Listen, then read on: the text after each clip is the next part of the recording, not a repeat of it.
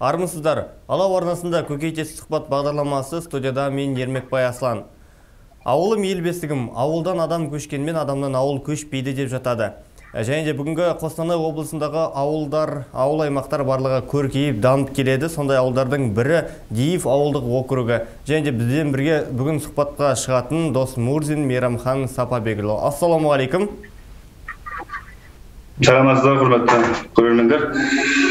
Диев ауылының округінің әкімі досмұрз мейрамхан менің ауылымда халық 2298 адам тұрады. Маған қасында төрт ауыл бар. Қосағал тұрғынбай үш қарасу әрине аға енді сұхбатымызда ауылдың төңірегінде ауылдың жағдайы жөнінде және де басқа да іс шаралар жөнінде болады. Дайын болсаңыз сұхбатымызды бастайық. Ең бірінші сұрағым осы ауылдың тұрғының саны қанша оларға қандай жағдайлар жасалып жүр? Өзіңіз жаңа ауылдың санын айта кеттіңіз әрмен қарай жалғастырсаңыз. Ауылдың жағдайы менің. Біріншіден осы үлкен ауыл төрт ауыл ауылдар өзіме қарайды маған оның ішінде жекеменшік диев ауылының жекеменшік шаруашылығы жұмыс істейді. Ол олег владимирович даниленко. Ол үлкен хозяйство жері бар. Егін егетін және мал ұстайды әулиекөл баразы бұқа бұқасы сиыры бұзаулары сол ауылға. Ауылда жұмыскерлерге жұмыс тауып береді. Бүкіл ауылдың жастары да үлкендері де сол зейнеткеге жақын адамдарға бәрі тоо жұмыс істейді. Сосын және тоқсан сегіз менде крестьянский хозяйство бар жекеменшік осы ауыл бойынша ауылдың адамдары сол крестьян жекеменшік шаруаларда жұмыс істейді. Әрине. Осы төрт ауылдың орталығы диев болып тұр ғой иә түсінгеніміз бойынша?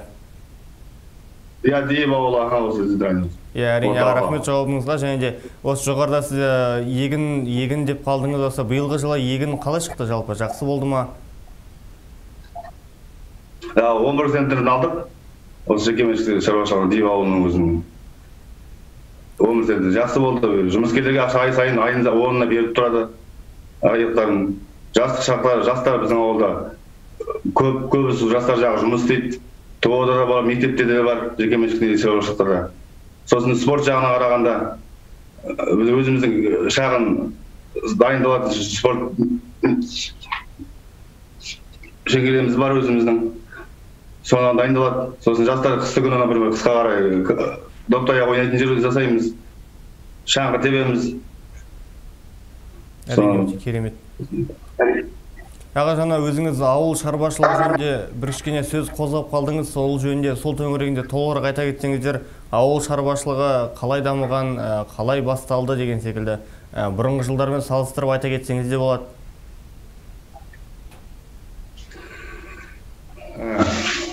Ауыл шаруашылығы енді олег владимирович өзі басқарады. Генеральный директор осы жекеменшік несі онда жиырма он екі мың гектар жері бар.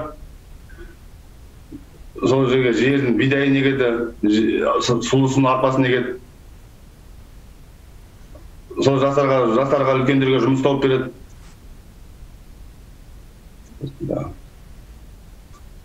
Айлықтар әр уақытта ай сайын беріліп тұрады.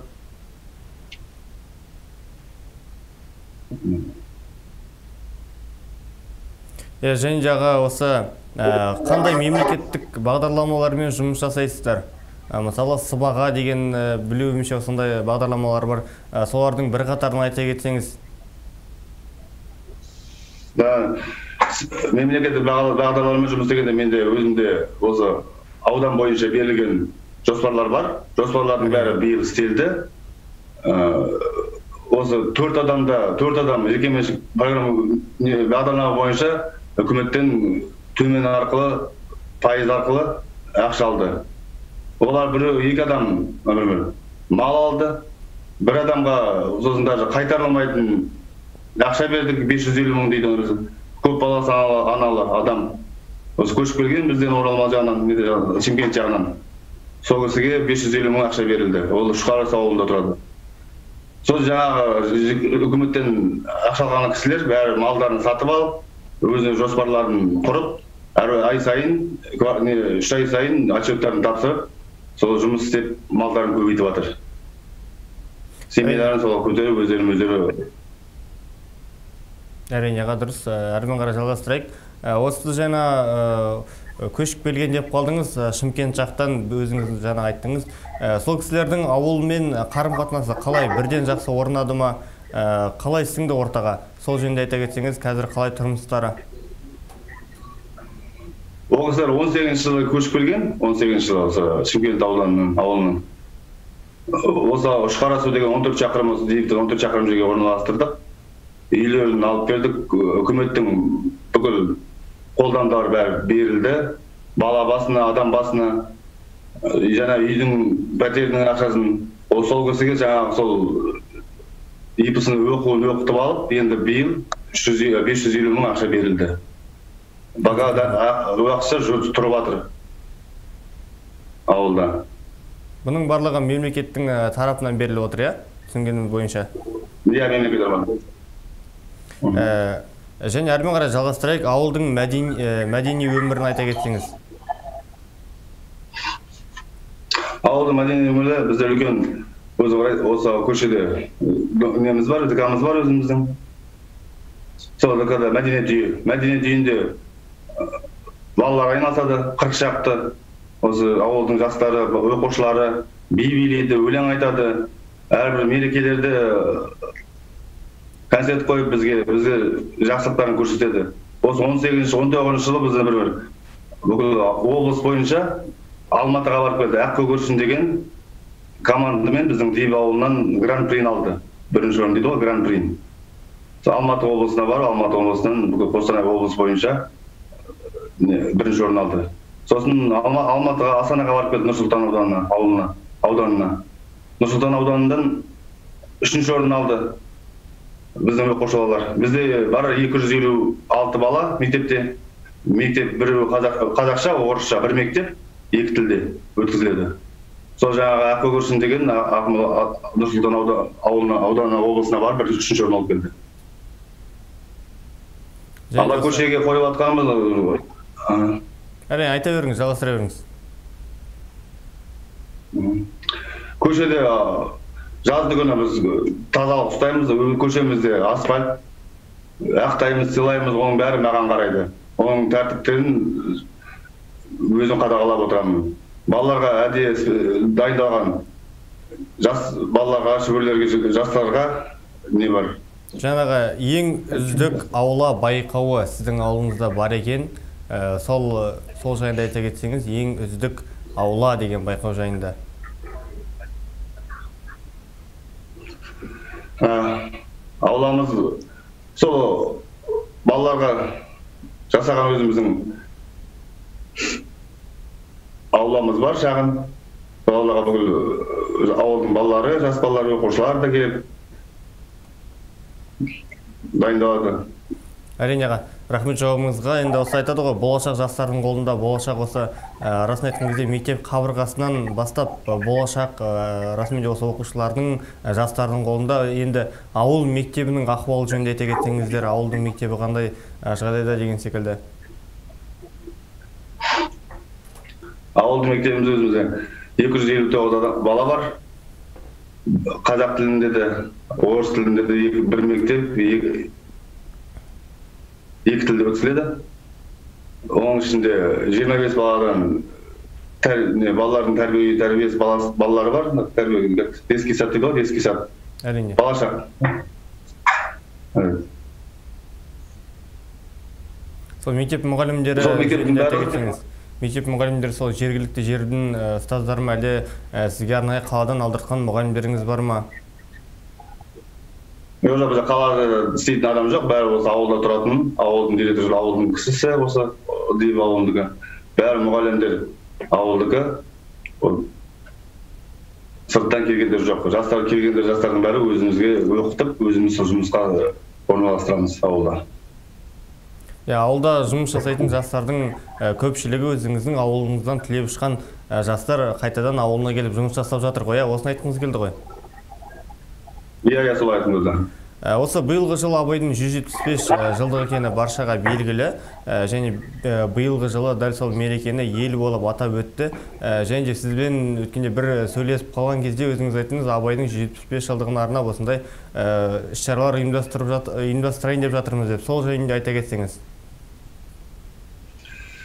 Иә вот абай құнанбаевтың жүз жетпіс бес жасына бізде уже жоспарды жоспарымыз бар. Мұның алдында онлайн арқылы концерттердің бәрін өткіздік. Енді осы менің алдында жоспарым өзімнің бар. Осы он үшінші он алтыншы желтоқсанға шейін осы абай құнанбаевтың атынан атына деп домбыра осы менің өткен декрамның өзінің ауласы бар ауласына сол домбыра қойғым келеді. Осы қасына кигіз үй қойғым келеді кішкентай сувенир сияқты.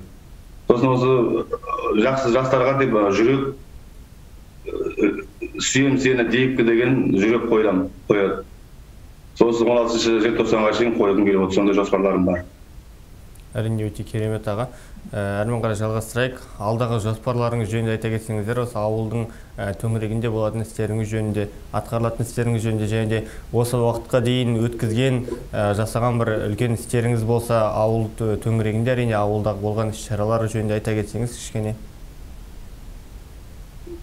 Сол алдағы шаруа келесі жиырма бірінші жылға менде жоспарларым бар. Көшеге бір екі көшеде менде свет жоқ қалған шам қалған көшелерде менде түнде шам шам жанып тұрады сол бір екі мектептің маңайы кішкене бір он шақырым он бе- он бес шақырымдай сол свет болмайды соған қойғым келеді келесі жыл жиырма бірінші жылға сосын жиырма бесінші жылға жиырма бірінші жылға бізде газ әкеледі ауылдан неден районнан қырық елу шақырым тұрады мен районнан сол районнан ауданнан осында газ тартамыз деп ойлап отырмыз биыл жоспарлап қойдық келесі жылы соны жаз газды кіргізсек ауылға, деп ойлаймыз.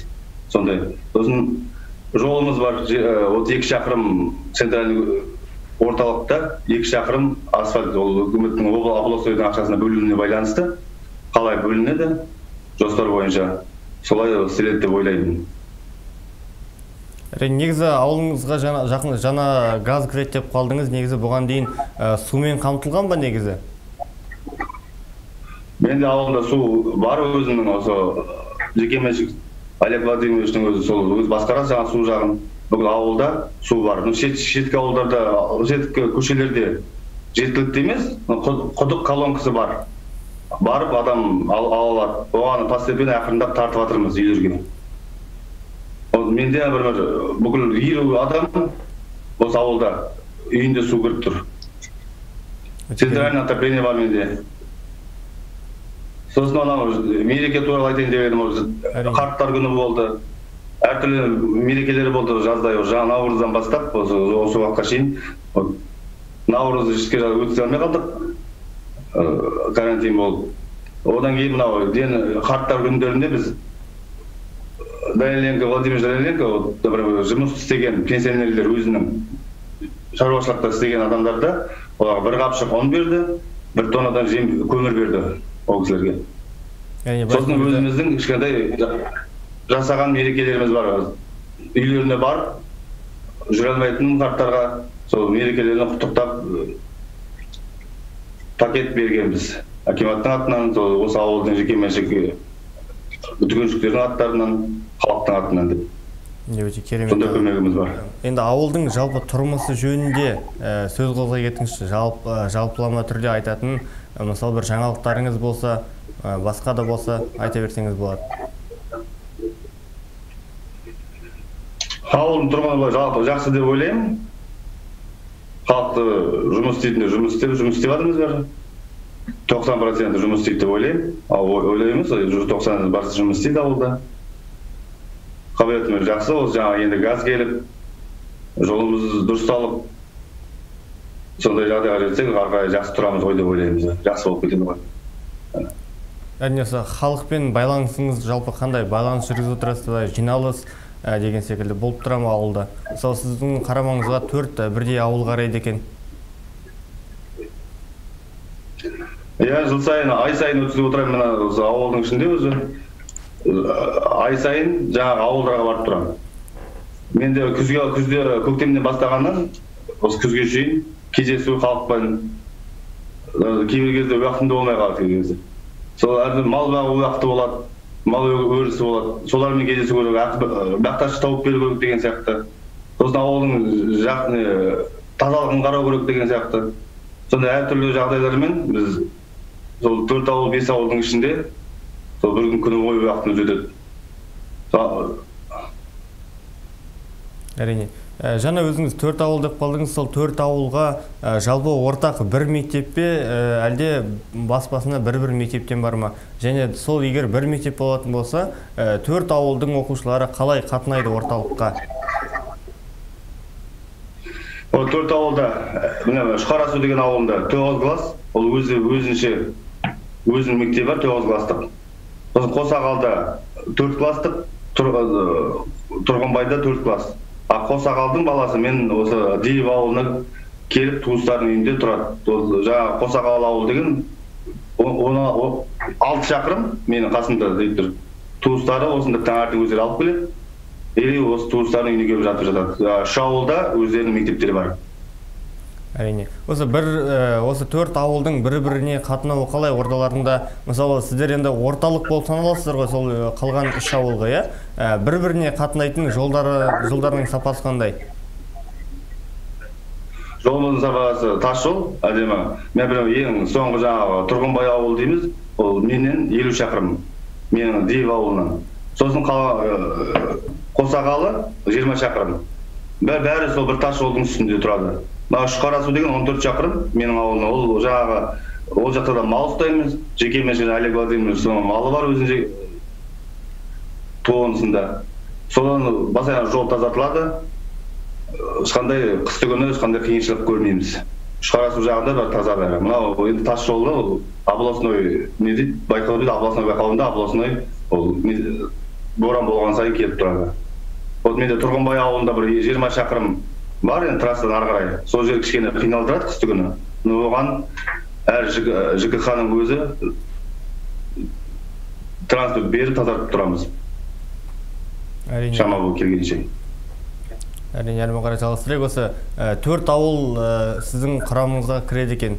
Ә, енді сол ауылдардың аттарын айта- айтып жіберсеңіз қандай қандай ауылдар деген секілді? Вот Диевтің, осы Диев центральный ауыл, осыдан кейін этот Қосағал, 30 шақырым. Қосағалдан Тұрғынбай, Тұрғынбай 20 шақырым. Ол жерде общий 50 шақырым. Сосын Дұр- Диевтің оң жағында менде Шұқарасу, 14 шақырым. А Қоскөл жаңағы Тұрғынбай мен Диевтің ортасында екі үш ауыл получается. Үш ауыл екі ортада тұрады. Тұрғынбай мен Диевтің ортасында үш ауыл, оң жағымда сосын жаңағы қосағал ауылы а шұқара шұқарасу ауылы әрине мысалы қазір осы бағдарламаны көргеннен кейін мысалы қаланың тұрмысын тастап ауылға көшіп баратын ә, көрермендеріміз де пайда болуы мүмкін. Сондай кісілер е, қандай кеңесіңізді берер едіңіз? Өзіңіз де ауылдың тұрғынысыз ғой.